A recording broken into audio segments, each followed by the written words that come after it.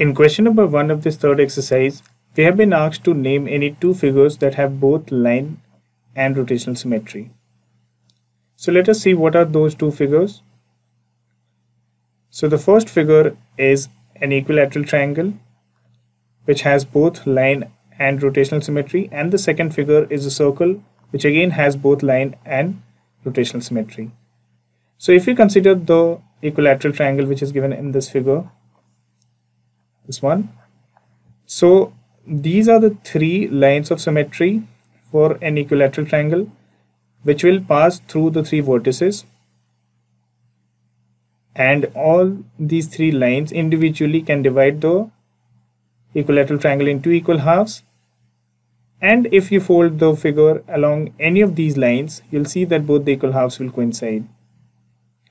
Now moving on to the rotational symmetry part if I mark this point of the figure as a blue dot to visualize the rotation when this figure is rotated by 60 degrees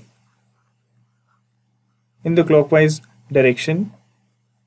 Let us now see what would be the new position after the rotation of this blue dot. So after a rotation of 60 degrees, we can see that the blue dot is here, which shows the rotation of this figure, even if the figure is the same as, as is in the question figure. If we again rotate this figure by 60 degrees in the clockwise direction, let us now see what would be the new position of this blue dot.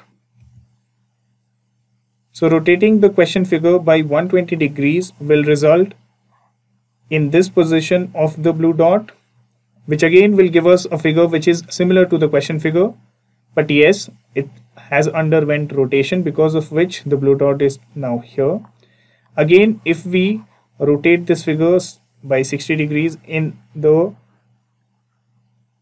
clockwise direction we'll again see that the blue dot will go back to the position where it is in the first figure. So an equilateral triangle has both line and rotational symmetry.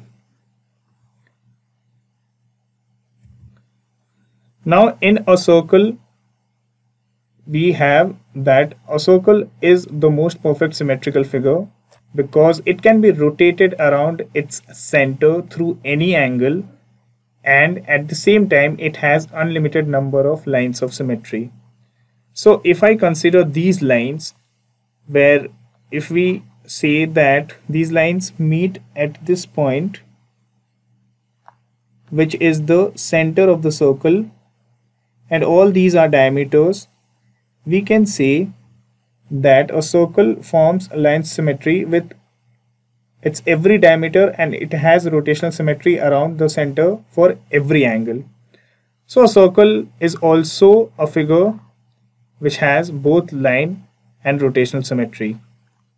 And this is how we'll answer the first question of this exercise. To learn more about how Cuemath can help you crack school and board exams, explore Cuemath Leap, a live online classroom program run by highly experienced and committed teachers.